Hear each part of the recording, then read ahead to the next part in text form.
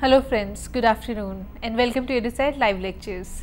Dear friends, as you know that we have started a series on polynuclear hydrocarbons and heterocyclic compounds and today we are conducting yet another lecture in the same series. In today's lecture, we will try to understand purines. Purines are a kind of heterocyclic compound. We will try to understand its preparation, its properties and characteristics. We will also try to see various individual parts of purines. To discuss this topic, we have with us our subject expert, Dr. Sushila Singhal. Dr. Singhal is Assistant Professor in Department of Chemistry in Deshbandhu College, University of Delhi. Without further ado, I would like to welcome ma'am to our studios and request her to start the lecture. Welcome ma'am. Thank you, Amriji. Good day, viewers. Today in the series of polynuclear hydrocarbons and heterocyclic compound, we will discuss about the purine. Purine is a heterocyclic compound. You might have heard about the uric acid in hospitals for the osteo patients that doctor prescribes the test for uric acid in blood for those patients which are having the uh, pain in the joints. This uric acid is a purine and also you might have heard about the caffeine or theine alkaloid in the tea extracts this caffeine and theine, this is also a purine compound, it is a purine derivative. So, today we will discuss about uh, these uric acid, caffeine and also ATP and GTP, the energy rich constituents of genetic material in nucleic acids.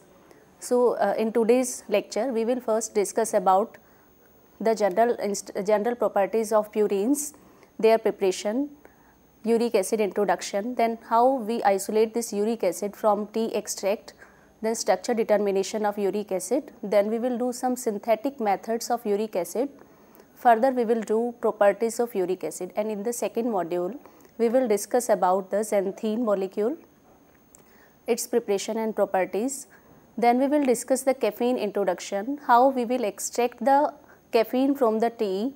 Then further we will do the structure determination of caffeine and its property and preparations, some uses and poisoning of caffeine.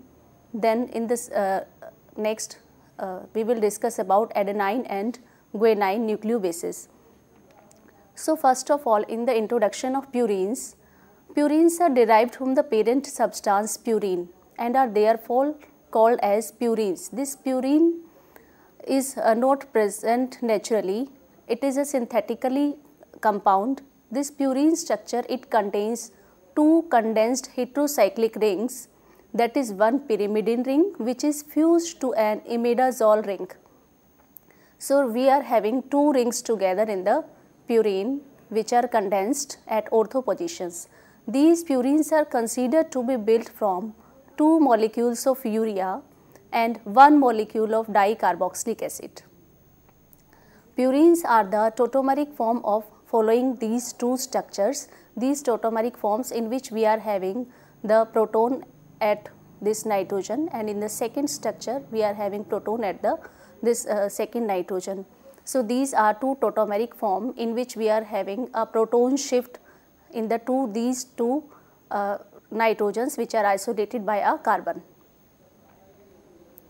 Now purine since these do not occur naturally but is a synthetic compound. However, various purine derivatives occur in nature both in the free state as well as its bases and glycosides. In the free state it is present in the form of uric acid, xanthine and caffeine and in its base, bases and glycoside forms it is present in adenine and guanine in nucleic acids. These purine also occur in nature as its derivative which is 9D ribofuranoside which is also called as nebularine. This purine synthetic compound is a colorless solid having a melting point of 217 degrees centigrade. This purine is highly soluble in water and has both acidic and basic characters. Here you have you can see the structure of purine where numbering is also done in this purine this nitrogen gets the number 1 then numbering on the left side it is 2, 3, 4 is the condensed carbon then 5, 6 and imidazole ring will have the carbon number 7, nitrogen number 7, carbon 8 and the 9 and respective in its tautomeric form. Now comes a classification of these purines. These natural purines are either hydroxy derivatives or they may be amino derivatives of the parent substance purines. So, they are classified into two types. One is oxypurine. These are hydroxy derivatives of purines and these exhibits keto-enol tautomerism. This is the keto-enol tautomerism in which this structure is the enol form. We are having a double bond which is en and a hydroxy group which is ol. So, together it is called as enol which is in reversible condition with the keto form. This is the keto form in which we are having the ketonic group. So, example of this class of oxypurines are uric acid, xanthine and its bases also which are caffeine, theobromine and hypoxanthine. Then comes the second derivative of purine which is aminopurine. These amino derivatives of purines are present in nucleic acids. Some examples are adenine and guanine. This is the adenine which is 6 amino purine and this is the guanine which is 2 amino 6 oxopurine. Now comes the synthetic methods of purine. One of them is Albert and Brown method. In this method, purine can be prepared by condensation of these two reactants. One of them is 4,5, this is 4,5 diamino pyrimidine which condenses with formic acid in the presence of sulfuric acid to give us purine. Purine will cyclize the molecule, will condense the molecule in a manner that water will go out from these two positions OH and H from this and o, from this and H2 from here. So, we will get the cyclized purine. Then, then in the second step we can also prepare this purine from the uric acid. Uric acid on treatment with phosphoryl chloride will first give us 268 trichloropurine which on treatment with hydroiodide will yield 2,6 diiodopurine. Here you can see in the reaction this is the uric acid. First this uric acid will undergo enolization. These keto group will enolize to form the hydroxy groups. Then these hydroxy group on reaction with phosphoryl chloride will convert into trichloro derivative which is 2,4,6 trichloropurine which on reduction with hydrogen iodide at 0 degree centigrade will give us 2,6 diiodopurine which on further reaction with zinc dust will undergo distillation at 100 degree centigrade to give us purine. This purine is further will tautomerize to give the two tautomeric mixture of the purine. Now comes the general reactions of purines and its derivative alkyl purine. One of them is basic character Purine is a base with a pKa value of 2.5 and since it is a base, it will react with acid to give protonated urine. This is the purine. It will react with the proton to form this protonated purine. This protonated purine since it is containing the 4 nitrogen, it can pro protonate at any of the 4 nitrogen and we will get here the protonated product. Since it is acidic also, so, it is a stronger acid with a pKa value of 8.9. It is stronger acid than phenol with the pKa value of 9.98 and imidazole with the pKa value of 14.2 and from the benzimidazole also which is having a pKa value of 12.3. This stronger acidic character is due to the stabilization of the anions by the delocalization. Here you can see that after, after the removal of this proton which is the acidity character that after going this proton anion will be formed and this anion is resonance stabilized of 4 structures.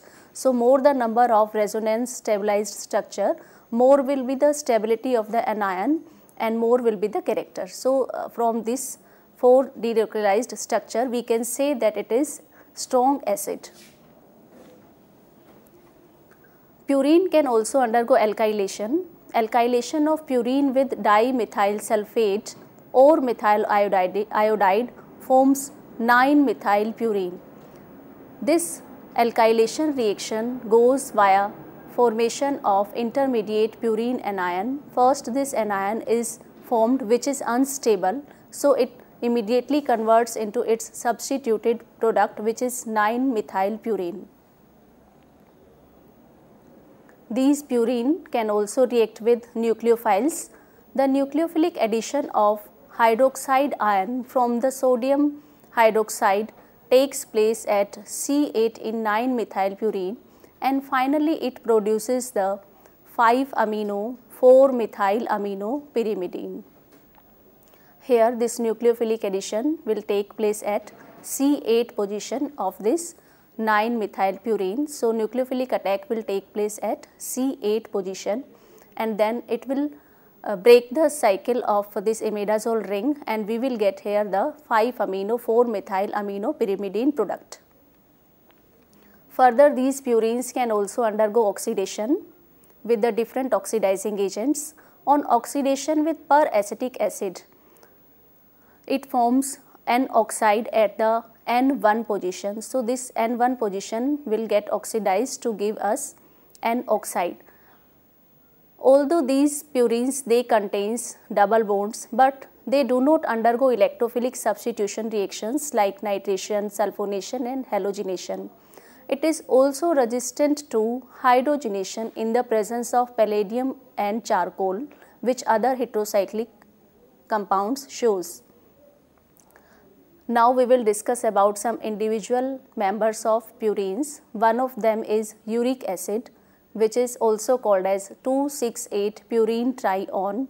Here we have shown the bowl stick model of uric acid in which these red balls are oxygen.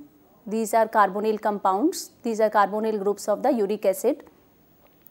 This is very important derivative of purine. It is oxypurine it is a colorless crystalline solid having no taste and no smell.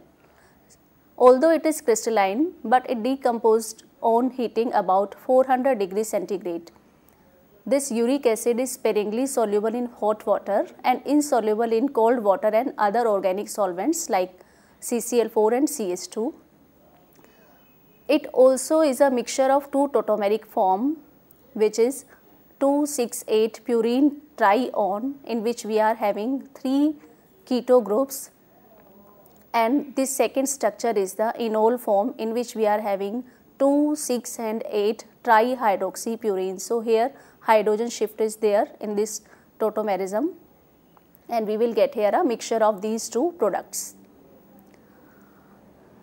Now, where this uric acid comes, this uric acid is the chief constituent of the solid excrement of birds, reptiles and insects and the natural accumulation of sea birds excrement found on certain islands contains about 25 percent of uric acid and snakes excrement contains 90 percent in the form of ammonium urate.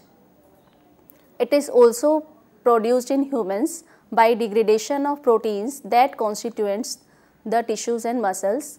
Normally small amounts of uric acid up to 0.3 grams per 100 ml is also present in blood.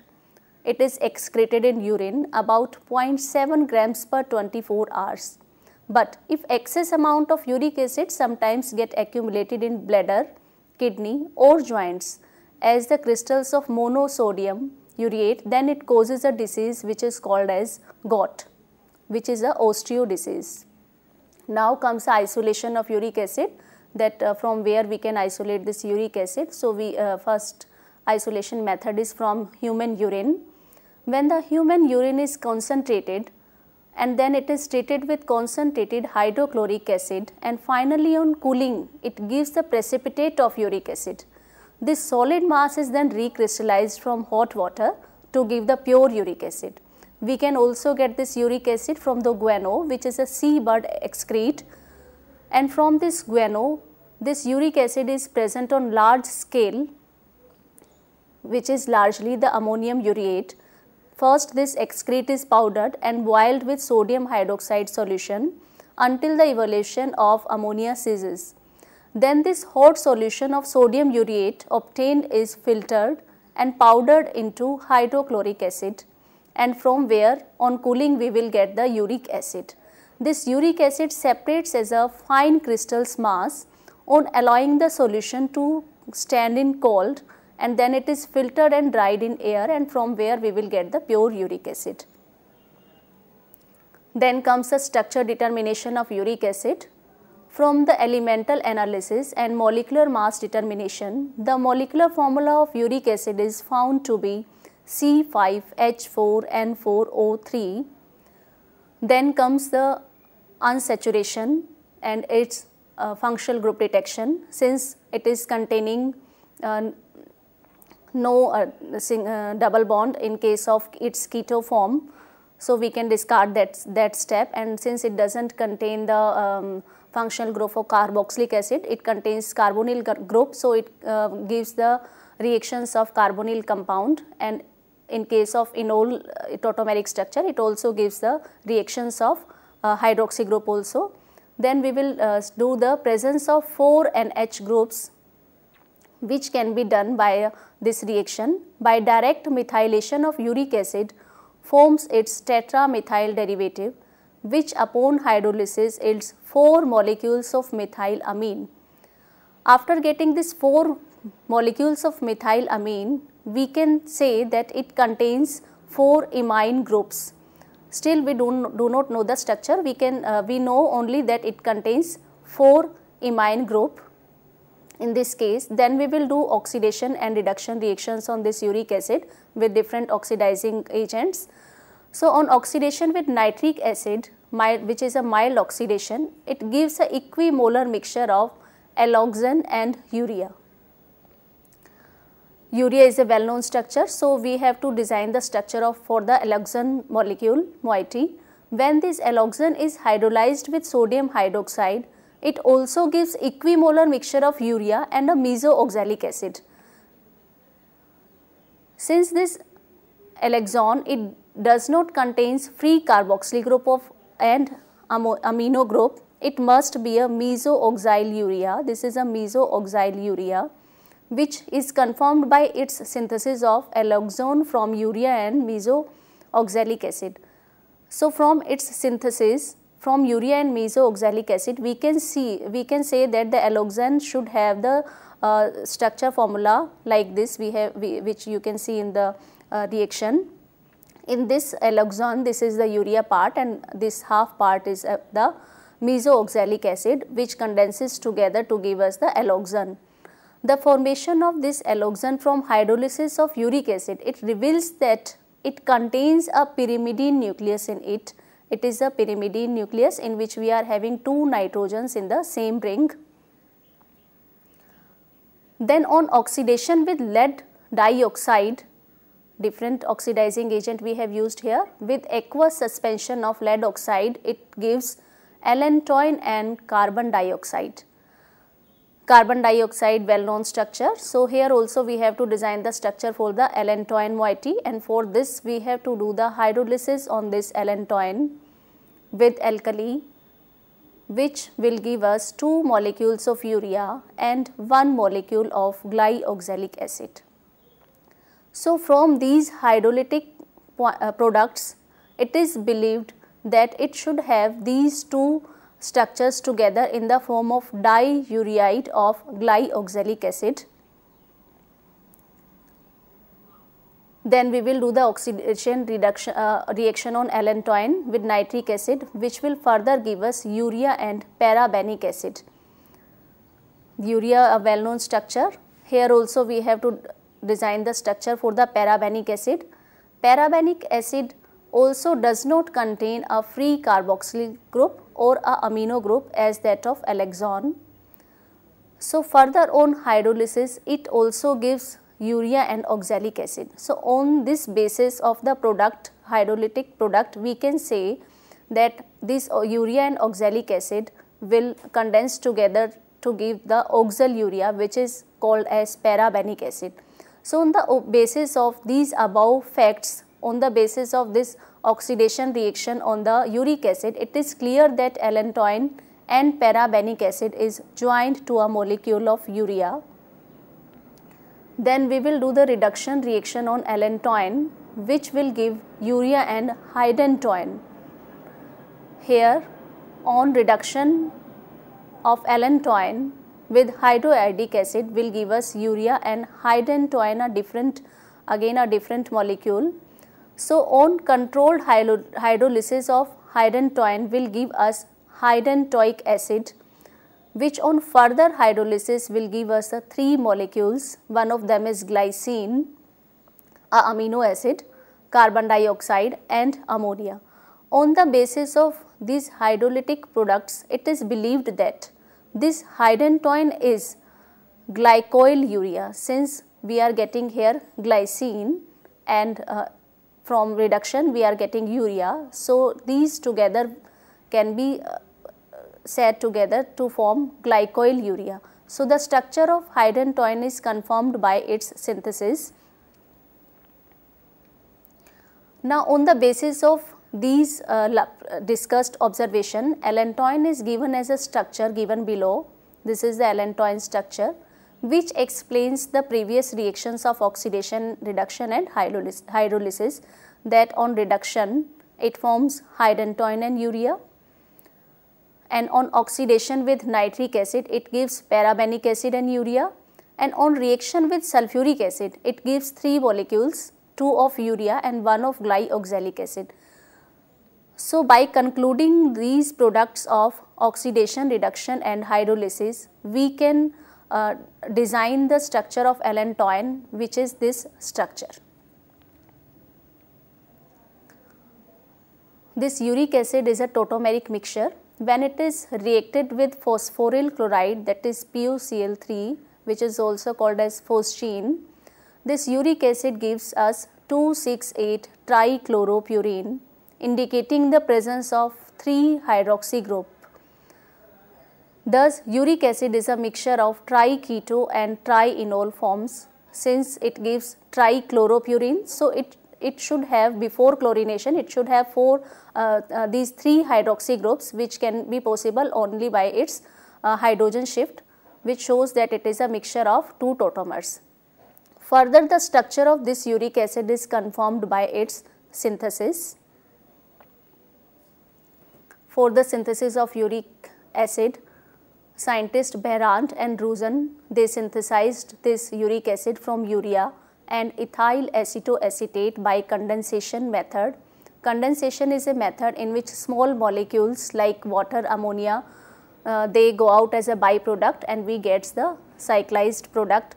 So, here in this reaction also this is the urea and this is ethyl acetoacetate these condense together in the presence of sulfuric acid, ethanol from this ammonia and this ethyl part will go out and water from these two position will go out and we will get here a cyclized product which is called as 6-methyl uracil which on reaction with nitric acid will undergo nitration to give 5-nitro uracil 6 carboxylic acid.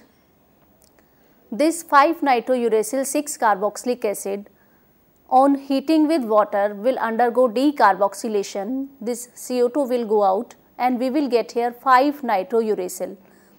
This 5 nitrouracil then on reduction with tin and hydrochloric acid will reduce this nitro group into the amino group and we will get here a mixture of 5 uracil, 5 amino uracil and 5 hydroxy uracil.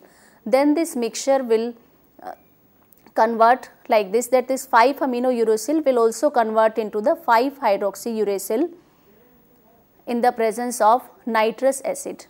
Nitrous acid will convert this 5 amino uracil into the 5 hydroxy uracil which further will convert into the uric acid on reaction with bromine water.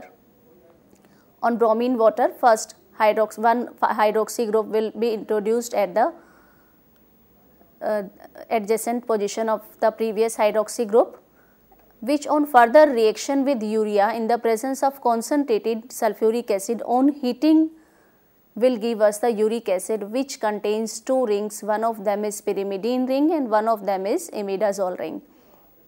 So, here we will get the uric acid from Behrend and Drusen synthesis. Then comes the Beers-Fischer synthesis. In this synthesis, it also involves the condensation reaction of urea and malonic acid. Here also two molecules will condense in the, in the presence of phosphoryl chloride and they will give us barbituric acid. In this barbituric acid, you can see that this half part is of urea and this half part is of malonic acid. Then this barbituric acid will react with HNO3 and will give us violuric acid which on further reduction with ammonium hydrogen sulfide will give us uramil. This uramil on reaction with potassium cyanate in the presence of water will give us pseudo uric acid which on reaction with 20 percent hydrochloric acid and on heating water will go out in this step and we will get here uric acid from the pseudo uric acid. Then comes the Traube's synthesis. This is a commercial method of the preparation of uric acid. Here uric acid, acid is obtained from urea and ethyl cyanoacetate. This is the urea molecule and this is the ethyl cyanoacetate. These two molecules will condense in the presence of sulfuric acid. Here also condensation will take place and we will get this moiety which on reaction with sodium hydroxide will give this cyclized product which is a unstable product and it will react with nitrous acid will undergo decarboxylation to give us 5 nitrouracil. Now this 5 nitrouracil it will again undergo reduction in the presence of ammonium hydrogen sulfide to give us amino uracil. This is the amino uracil. Now, it this amino uracil by two steps by two different step can form the uric acid. It can directly undergo fusion with the urea and can give the uric acid and in the one more reaction it can also react with ethyl chloroacetate to give us the uric acid. Then comes the property of uric acid. Uric acid behaves as a weak dibasic acid and it gives salts mono and disodium urate. While the sodium and the ammonium urate are sparingly soluble in water, this lithium urate is freely soluble. That is why this lithiated water is often used as a remedy to secure the elimination of uric acid from the system of patients suffering from this osteo disease which is the gout. Then comes the reaction with the phosphoryl chloride. This uric acid on reaction with phosphoryl chloride gives us 268 trichloropurine uric acid can un undergo reduction reaction also. On reduction it gives us purone. One of the most important reaction is uric acid can also give murexide reaction which this reaction is used to detect the presence of uric acid. In this uric acid is treated with the ammonia which gives a purple residue which is used for the detection of uric acid. If this purple uh, color comes then the compound is the uric acid. This was all about the reactions of uric acid. Thank you.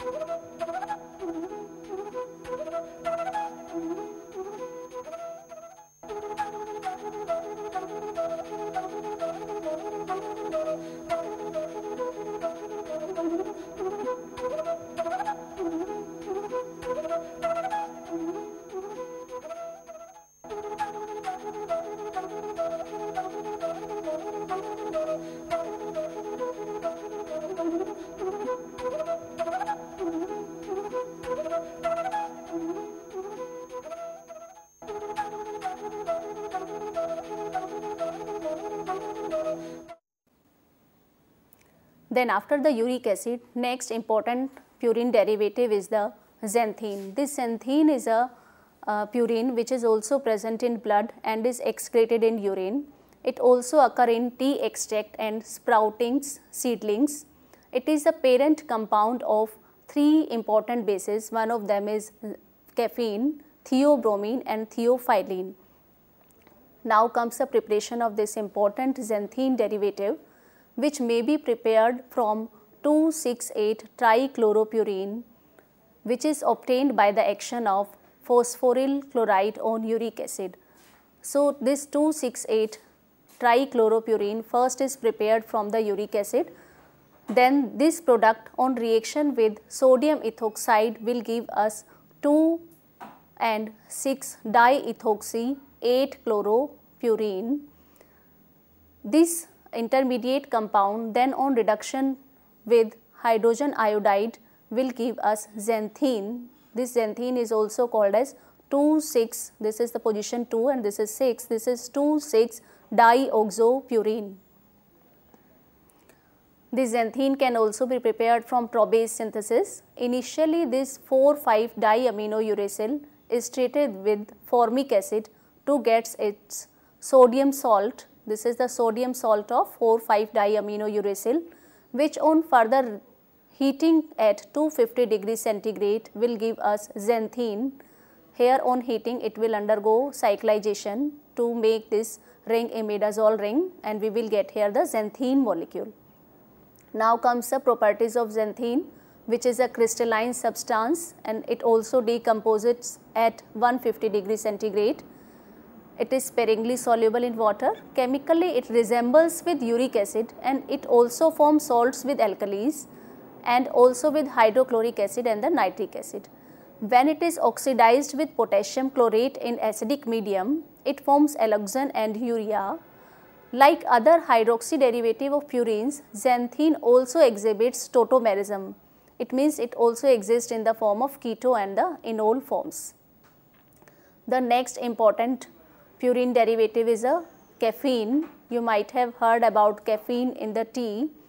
This caffeine is a CNS stimulant. CNS is central nervous system stimulant of methyl xanthine class. So, it is a derivative of xanthine it is a methyl xanthine in which we are having 3 methyl groups at the nitrogen position of the xanthine compound. This caffeine is a bitter white crystalline purine. It is an alkaloid and is chemically related to adenine and guanine bases of DNA and RNA. It occurs in dried tea leaves, coffee beans and in cola leaves. Now, how we will isolate it from the waste leaf?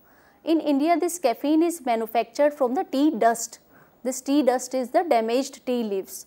The damaged tea leaves and the stem of the tea plant are first dried, powdered and then boiled with water and filtered hot. Then after filtration, the filtrate contains caffeine, protein and tannin. This filtrate is then treated with the basic lead acetate and from here the proteins and the tannins will precipitate and again we will filter off. Now in the filtrate we are having only the caffeine which is treated with dilute sulfuric acid first to remove any excess of lead acetate as insoluble lead sulfate. Now the resulting solution or you can say the filtrate is decolorized with animal charcoal or it, you can say it is purified and caffeine extracted from it is treated with the chloroform. This chloroform is then distilled off and the residue of crude caffeine is recrystallized from water to get the pure product. Here we get the very fine crystals of caffeine. Now comes the structure determination of this caffeine which is a methyl derivative of xanthine. Its molecular formula from the animal, elemental analysis comes to be C8H10N4O2. Then comes the presence of 3 N-methyl groups. When this caffeine is subjected to Herzig-Meyer method, this Herzig-Meyer method is when a particular compound is heated with concentrated hydroiodic acid, it gives uh, the respective molecules of methyl iodide. In this case here we are getting 3 uh, moles of methyl iodide. So, we can say that this uh, caffeine contains 3 NCH3 groups or the, the 3 N methyl groups. Further, we will do the oxidation on the caffeine with the different oxidizing agent. On oxidation with potassium chlorate in hydrochloric acid, caffeine gives dimethyl alloxan and methyl urea. We are getting two products. The structure of 1,3-dimethyl alloxan has been established by the fact that on hydrolysis it yields N-N-dimethyl urea and mesoxalic acid. It means it contains these two moieties together. So, these should be present in a cyclic uh, structure. So, from this reaction we can say that this 1,3-dimethyl alloxan is a mesoxyl sym dimethyl urea. So, from this reaction we have uh, done the structure determination of this moiety which we are getting on oxidation of caffeine. Then from the oxidation of caffeine to 1,3-dimethyl alloxan and monomethyl urea, it follows that caffeine has the same carbon skeleton as that of the uric acid. We have already discussed about the uric acid. At the same time, it also established the position of two methyl groups since 1 3 dimethyl group is there, there, there. So, 1 and the 3 position these two methyl groups are fixed. Now, we have to do the third methyl group that uh, this third methyl group is present on which position of the skeleton structure of uric acid.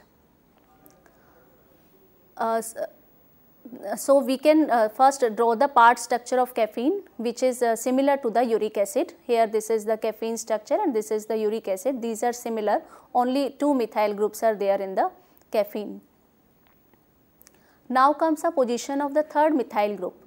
During the oxidation of caffeine with the potassium chlorate in hydrochloric acid, Fischer also isolated a new product in addition to this dimethyl alloxan and the methyl urea.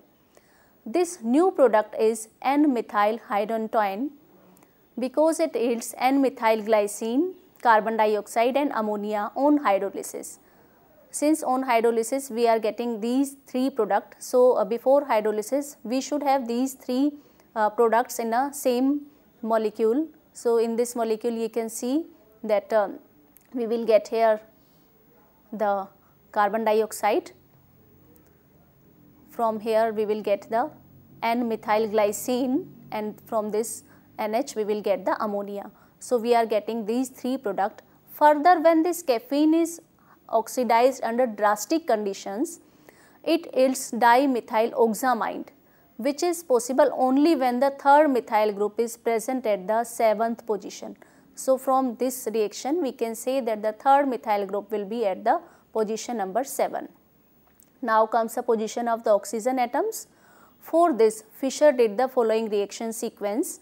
He has reacted the caffeine molecule with the chlorine and he got chlorocaffeine which on reaction with methanol in the presence of sodium hydroxide first give the methoxycaffeine. This methoxycaffeine in the acidic condition on reaction with dilute hydrochloric acid will give us oxycaffeine which on methylation with methyl iodide and sodium hydroxide will give us tetramethyl uric acid. So, from this sequence the oxycaffeine obtained is found to be identical with the trimethyl uric acid. Uric acid structure is already known. We have uh, trimethyl groups have already done. So, on the basis we can say that the oxycaffeine is having this, this structure which is the trimethyl uric acid. From the above discussed observation, it may be concluded that the caffeine should have the following structure and this structure is further confirmed by its synthesis. So, for the synthesis of caffeine, one of them is Fischer's synthesis. Fischer scientist done a lot of work on caffeine he has used uric acid.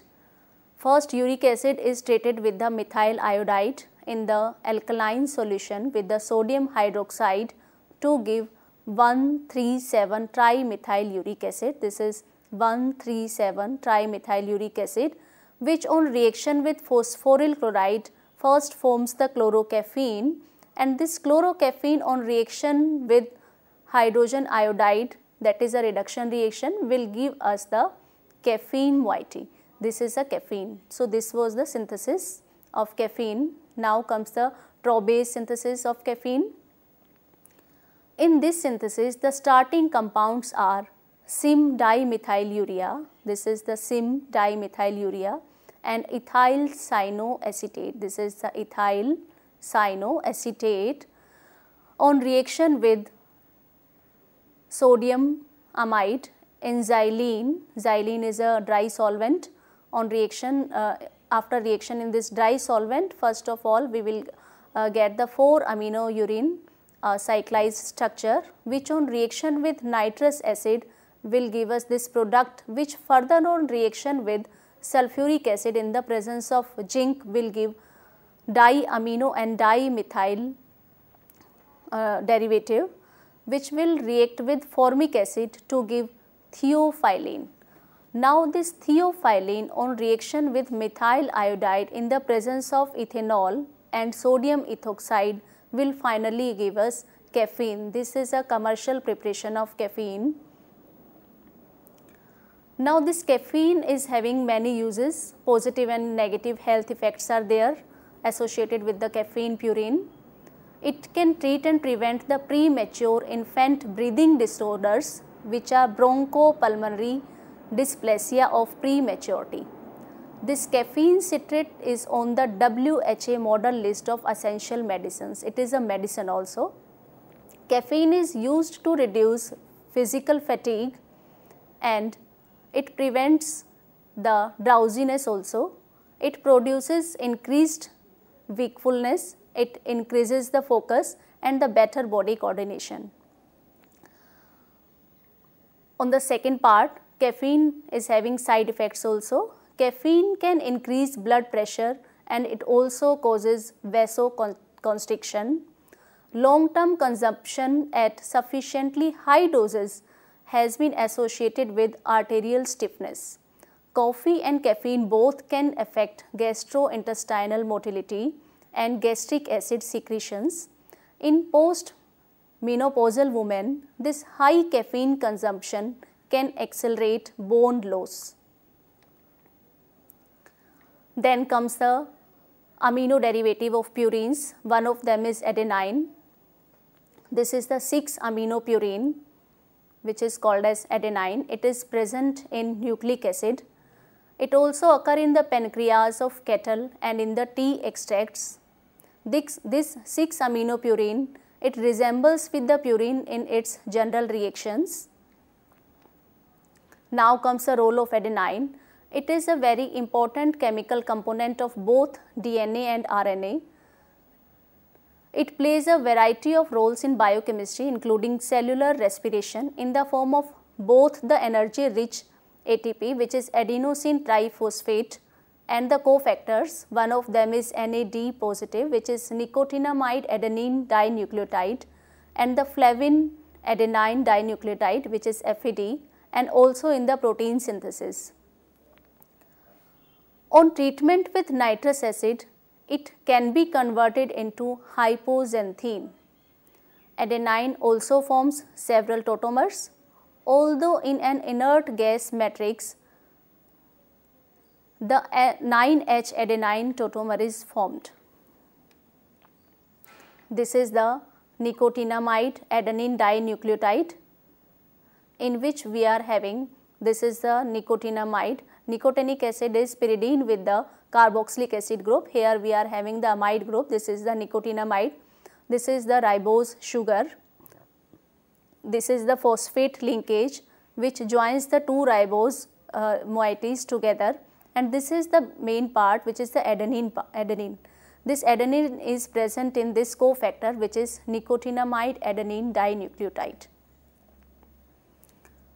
Now comes the binding of this adenine in the nucleic acid in the DNA and the RNA. In DNA, this adenine binds to thiamine via two hydrogen bonds to assist in stabilizing the nucleic acid structure. While in RNA, which is used for the protein synthesis in which two steps are there translation and transcription. This adenine binds to uracil. Here, here we have shown the DNA. In the DNA we are having the thymine YT and this is the adenine. This adenine binds with thymine via two hydrogen bonds. These are two hydrogen bonds we have shown. The amino group of adenine, hydrogen of this amino group will bind with the keto group of thymine and the nitrogen of the pyrimidine ring of uh, adenine will bind with the nitrogen of the thymine in which we are having the NH. This, this is a hydrogen bond and one of this is the hydrogen bond. So, here we are getting the two hydrogen bond in the um, thymine and the adenine. This adenine forms adenosine a nucleoside when it is attached to ribose and 2-deoxyadenosine when it is attached to deoxyribose. So, depending upon the sugar whether we are taking the ribose or deoxyribose, we will get the respective nucleoside.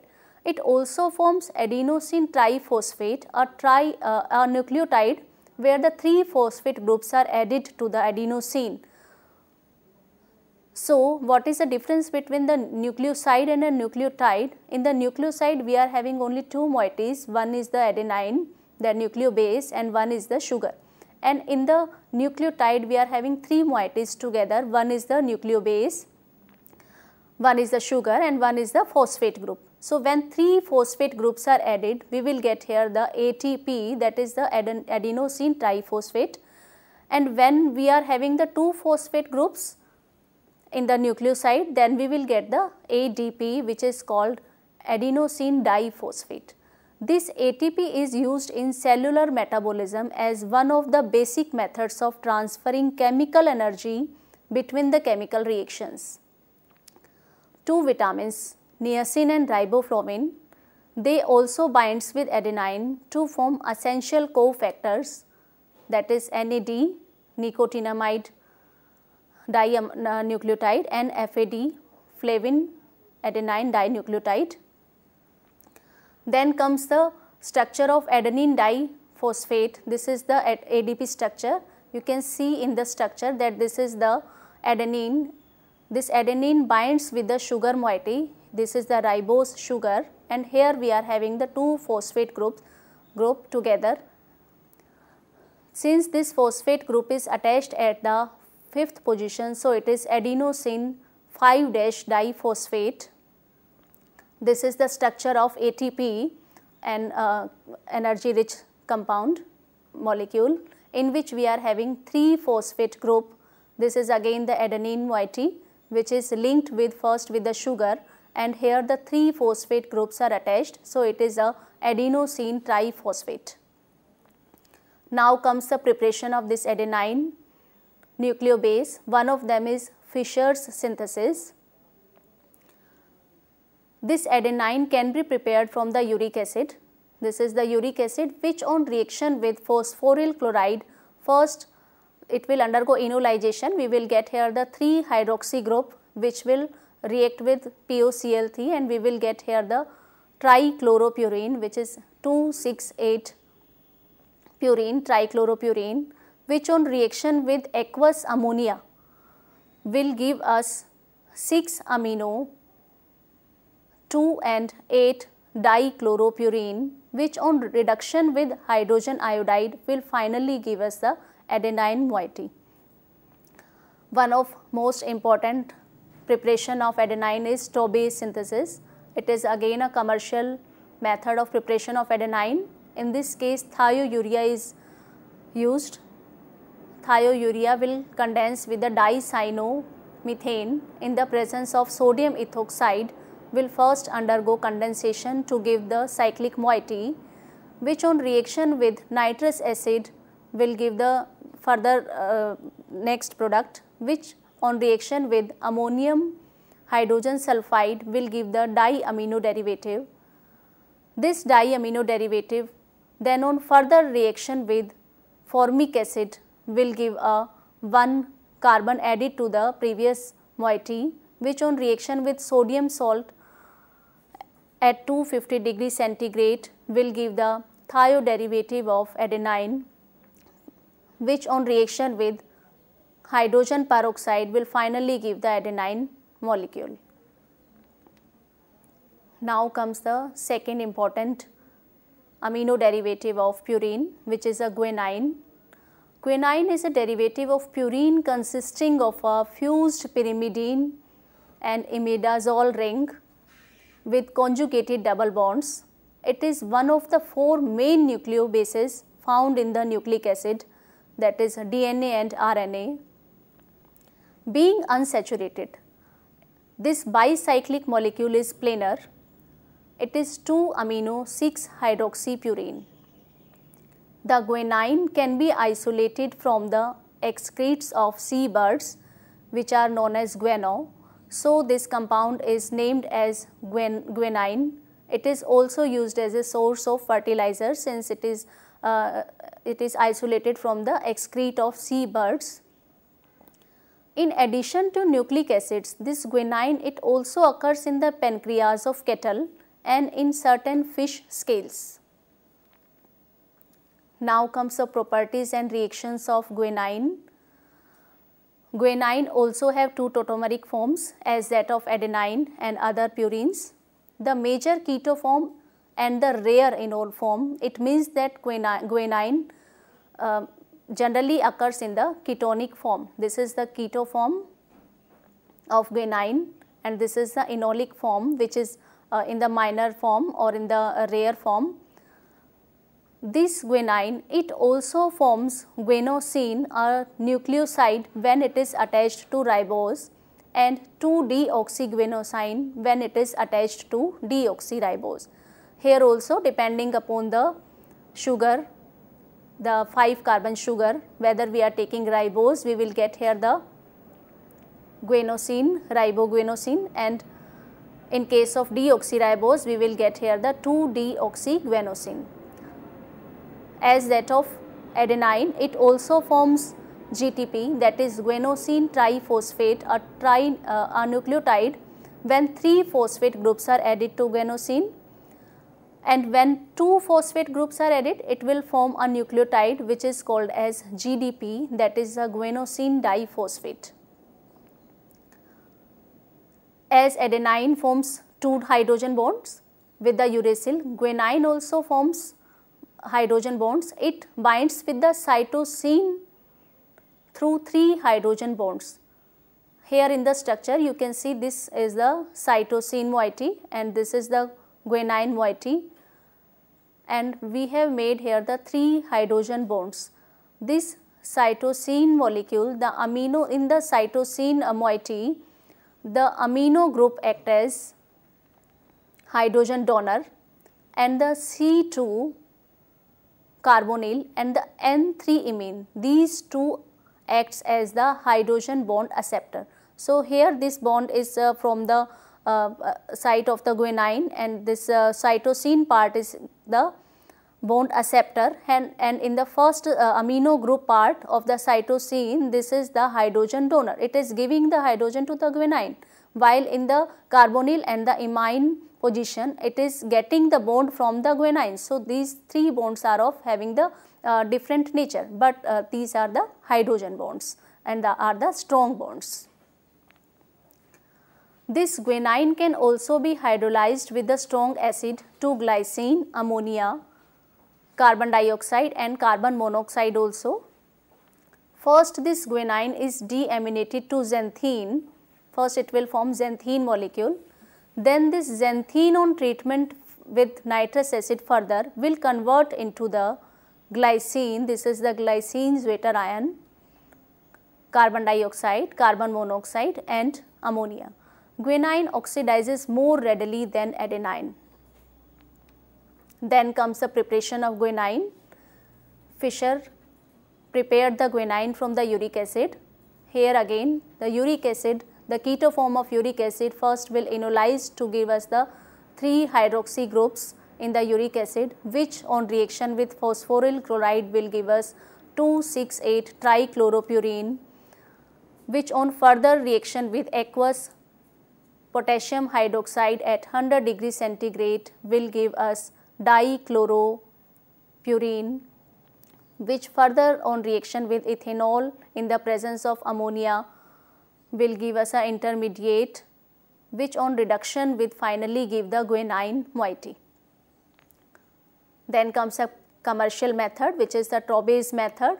It involves heating 2,4,6 triamino 1,6-dihydro 6-oxypyrimidine with formic acid for several hours. But first of all, this moiety has to be prepared which can be prepared from urea and ethyl cyanoacetate in the presence of sodium ethoxide and we will get this uh, reactant. This reactant on further re reaction with nitrous acid and ammonium hydrogen sulfate will give the uh, next compound which will uh, give uh, which will on rearrangement and reaction with formic acid will give us the guanine. Now comes the uses of this guanine nucleobase. This guanine is a crystal of rhombic platelets composed of multiple transparent layers, but they have a high index of refraction that partially reflects and transmits light from layer to layer. Thus, they produces a pearly luster. This pearly luster of this guanine is used in the cosmetic industry for the preparation of various product. In these product, this guanine is used as an additive like in uh, for example in shampoo where it provides a pearly iridescent effect. It is also used in metallic paints and stimulated pearls and plastics. It provides luster to eye shadow and nail polish also. It can be applied by spray, by painting or by dipping method. Now comes a few questions based on today's lecture. One of them is what are purines, give some examples and their classification. Then discuss the evidences that led to the structure of uric acid. Discuss the implications of excess uric acid in body write the test for detection of uric acid which is the Murexide test, how the xanthine can be prepared from uric acid and how this xanthine is related to uric acid, how caffeine is related to xanthine and how it can be prepared, then its commercial preparation which is the Traube's synthesis. Now discuss about the adenine and guanine nitrogenous bases and write the synthetic methods of these two amino derivatives of purines. Thank you. Uh, dear friends, on that note, we would like to thank Dr. Singhal for coming to our show and delivering this wonderful lecture. Friends, this is our continuous effort to bring knowledgeable and knowledge enriched lectures for you. And this was lecture in the same uh, effort. On that note, thank you, dear friends, for watching our show. Stay tuned and keep watching. Thank you.